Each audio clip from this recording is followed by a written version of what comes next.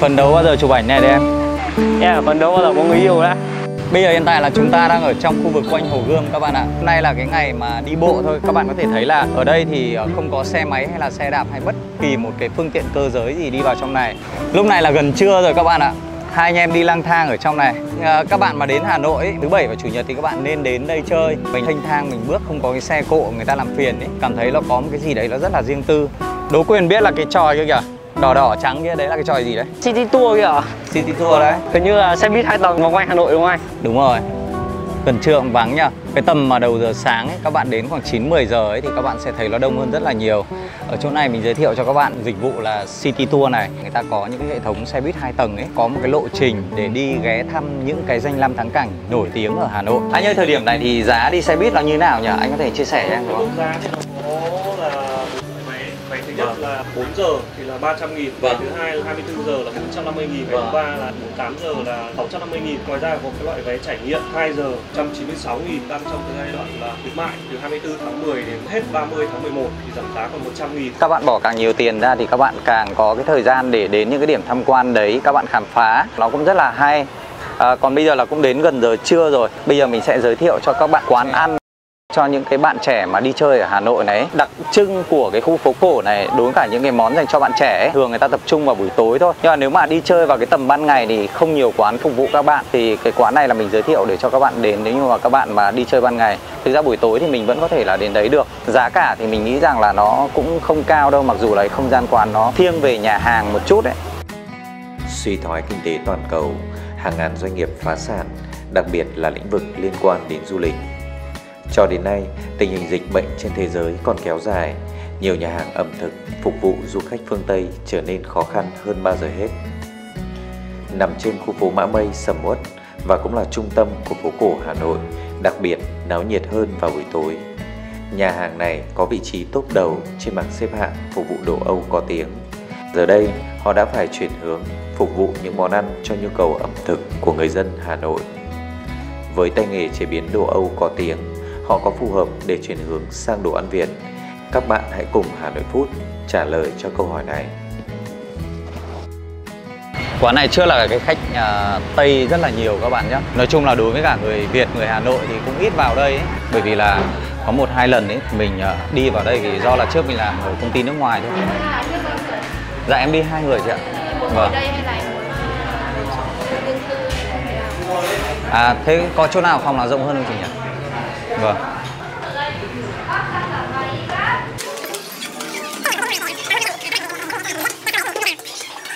Phòng này khá rộng ha Cho em xem qua cái thông mấy này thấy nhé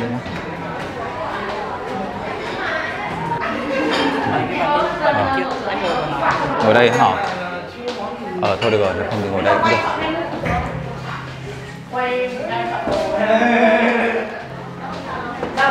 Ồ, ở đây mình có cả công cụ selfie cả em.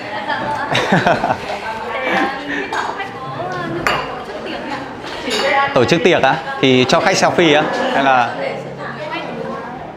À, à thế là phục vụ khách chứ không phải là nhà hàng mình nhảy à?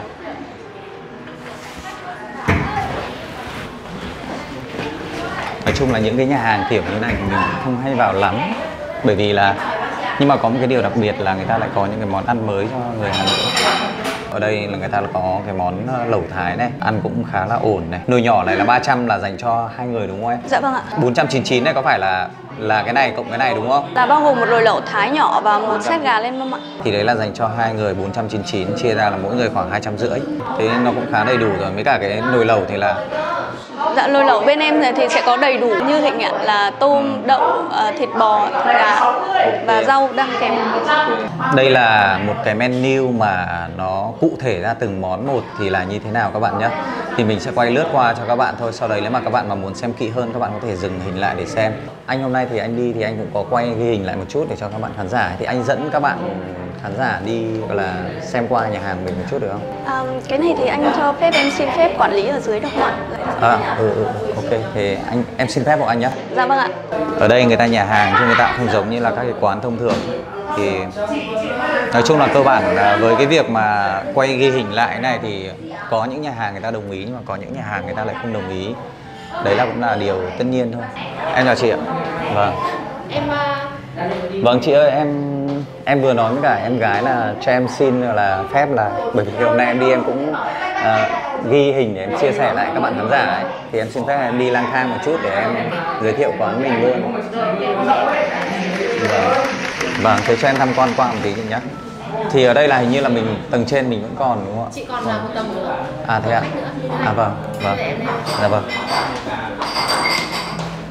Đây, trước khi ăn thì ờ, mình lên qua trên kia một tí đi. Ôi, trong này là ghế lại khác luôn, như kiểu là phòng VIP luôn này. Ghế đây là người ta bọc da. này.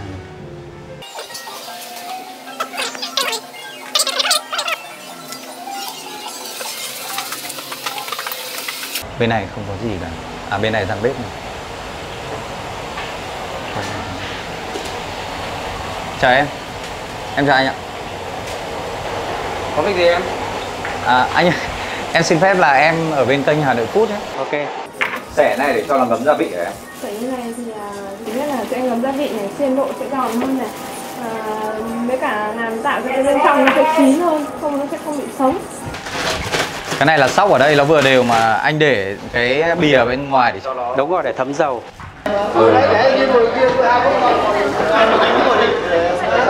Chưa cho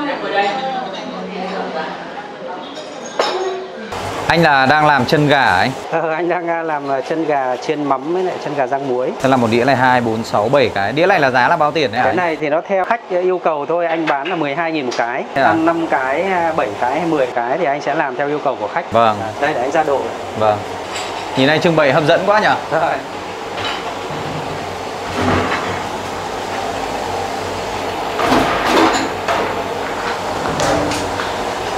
Đứng này có nóng hả em?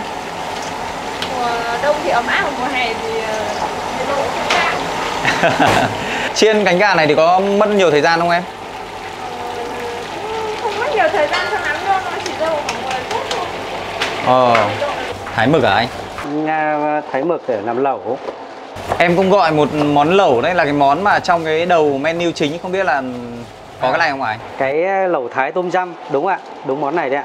À thì nó có cả cái này luôn hả? Có mực, có tôm, có à, gà, có bò. Cháu ơi lấy bò ra đây cho chú đi.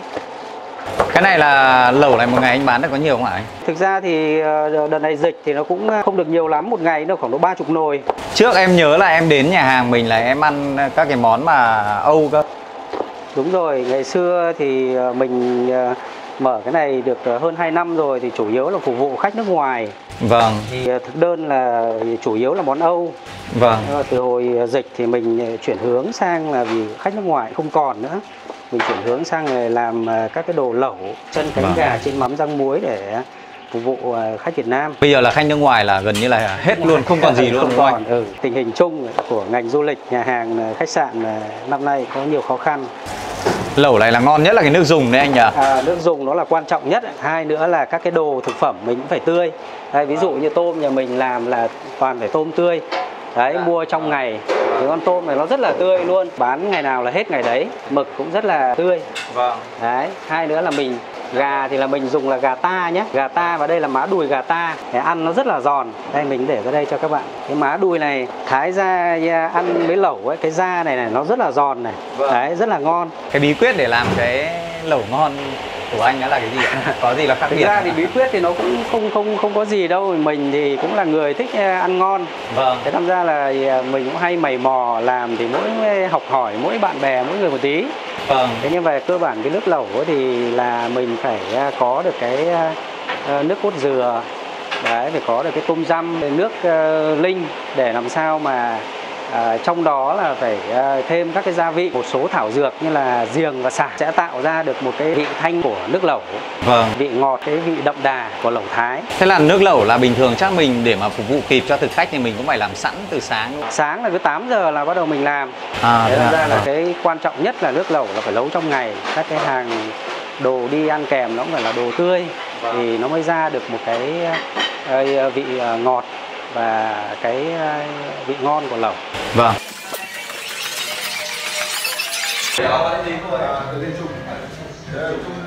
Anh ngồi bên nào?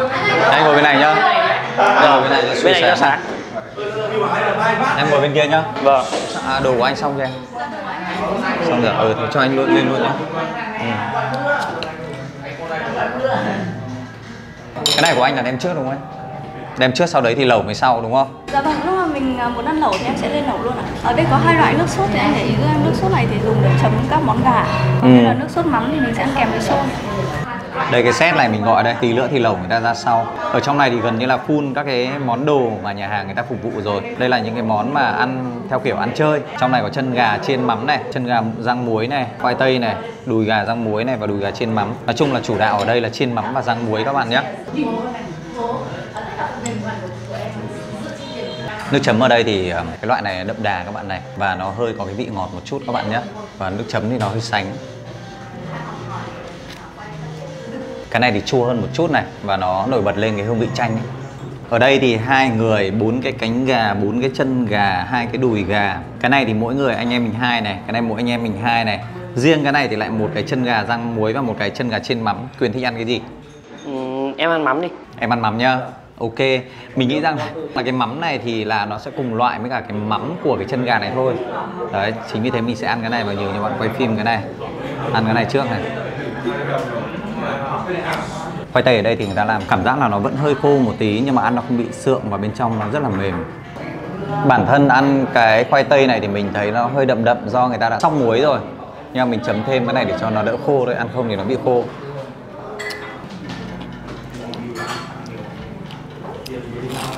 Ừ, giỏi lắm các bạn.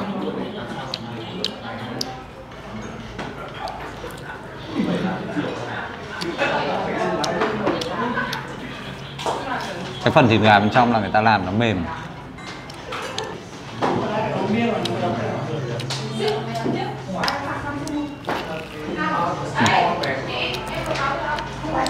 Bên ngoài người ta tẩm ướp rất là vừa.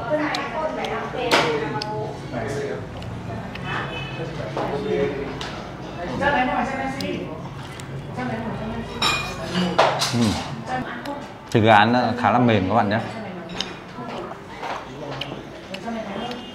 Đây.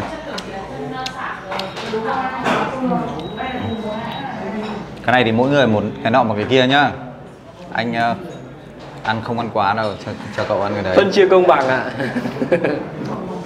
Chung phía bên ngoài người ta chiên nó rất là đều. Mình có thể mình nhìn thấy rõ là cái lớp bột tẩm ở phía bên ngoài này. Đấy và các bạn có thể nhìn thấy muối này Bên ngoài là muối và những cái đen đen này chắc là cái hạt tiêu này. Rất là nhiều muối này. Khuyên bảo muối này có bị mặn không? em nghĩ là không đâu. Đấy, đây là họ chiên mà.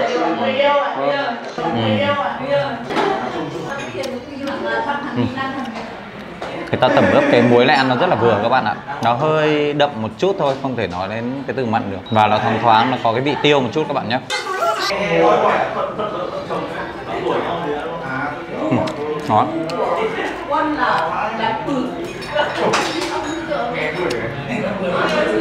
Chấm với cả cái nước này nó khá là đậm đà. Nước này ngon phết các bạn ạ. Nó hơi có một chút cái vị của cái nước mắm nguyên chất các bạn nhé.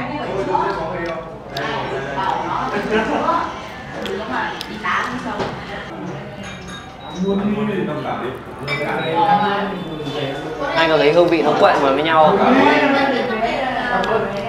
Cái này thì theo mình nghĩ là chấm cái nước này thì ngon hơn này. Bởi vì thực ra nước bên này nó cũng mang tính chất là nó cũng đậm đà hơn so với cái nước bên này.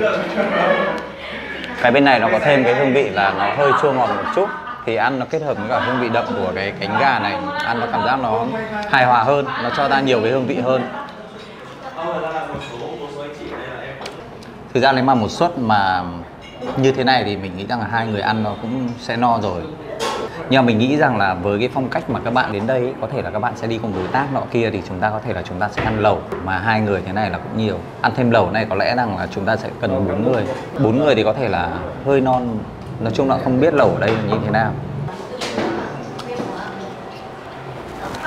Còn cái gì nhỉ? À chân gà chiên mắm chưa?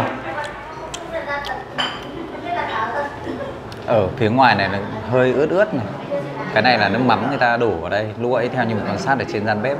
Thực ra nói là nước mắm thì cũng không phải, mà nó mang tính chất nó là cái, một cái nước sốt. Người ta nhúng nước sốt này thì thường là các nhà hàng người ta sẽ làm nó khác nhau, nó không giống nhau. Thì cái phần bên trong của chân này thì là nó cũng không bị à, đen này.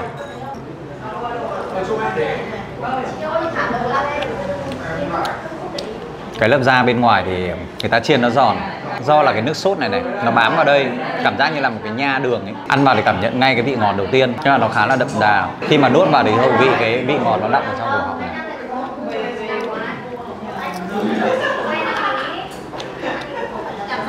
Nếu mà khách quan mà nói thì mình nói là cái chân gà này là ngon, bởi vì là cái lớp da giòn với thịt bên trong ấy, nó mềm. Đây là các bạn nhìn này, người ta chiên nó khá già và dày này. Chính vì thế nó tạo cho cái độ giòn của da.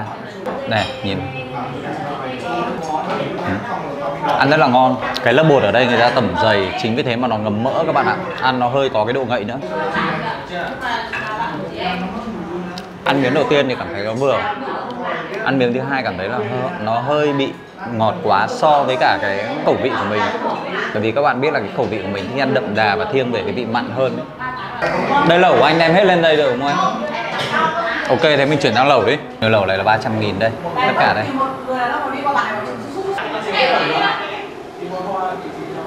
Khá là thơm các bạn ạ.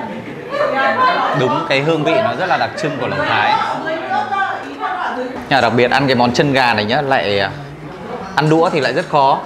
Bởi vì là cái da của nó mình cần phải dặn ấy, cầm tay thì nó lại hơi bẩn. Chính vì thế đôi khi là mình ăn những cái loại chân gà chiên mắm này là mình cũng hơi ngại một tí. Đấy sôi rồi đấy. Mở cái thơm anh nhở? Thơm đúng không? Đây là hương vị uh, lẩu thái đấy. Thịt gà cho vào luôn. Gà đây thì cái miếng người ta thái nhỏ các bạn này.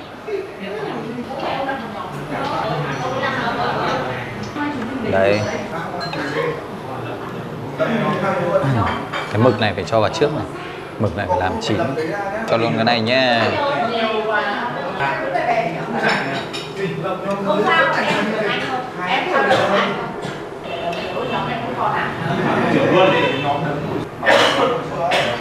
không biết các bạn thì có sống mình hay không ấy, nhưng mà mỗi lần ăn lẩu ấy thì mình không thể thiếu được cái sa tế này cho bất kỳ cái hương vị lẩu nào. Nhưng mà đặc biệt đối với cả cái món lẩu thái nó cay sẵn rồi, chính vì thế mà đôi khi là mình cũng không cần cái này. Nó tùy thuộc vào từng nhà hàng. Có những nhà hàng thì người ta cho ở cái mức độ cay vừa để nó phù hợp với cả mọi người ấy. nhưng mà có những nhà hàng thì người ta cho rất là cay mà mình không cần phải sử dụng thêm bất kỳ cái gia giảm nào để cho nó cay thêm nữa. Đây. Ôi, nhỏ nhỏ thôi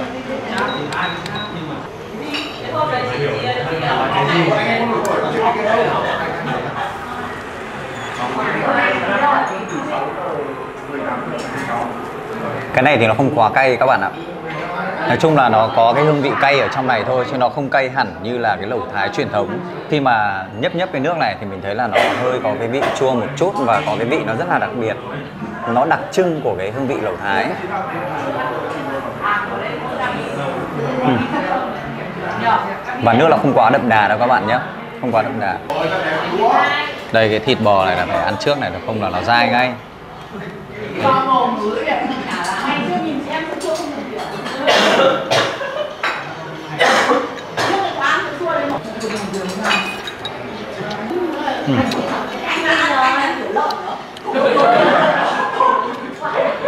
Cái thịt này thì mình thấy là ăn nó mềm nhưng mà cái thịt mỡ nghe có vẻ nó không được mềm lắm. Thịt mỡ ăn nó hơi dai một tí, và nó vẫn rất có cái độ ngậy. Ăn cái thịt này thường là rất là ngon này, ngon nhất trong cái miếng lẩu luôn. Cái mức độ thịt này nó ở mức độ khá thôi. Chứ tuy nhiên nó không có cái độ ngấy thịt gà. Thịt gà ăn thì mềm. Cái thịt gà đây người ta thái nhỏ này các bạn này.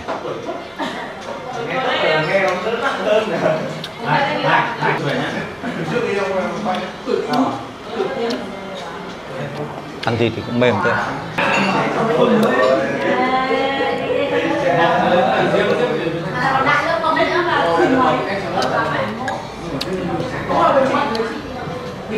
Ừ.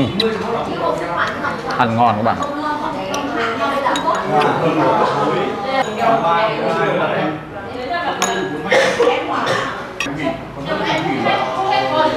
đây miếng mực này. Đây mực này em này. Mực ở đây thì nó hơi bé. Ừ.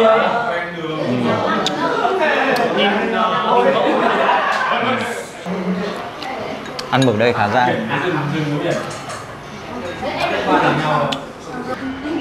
Đây sang bên này, bàn hàng xóm này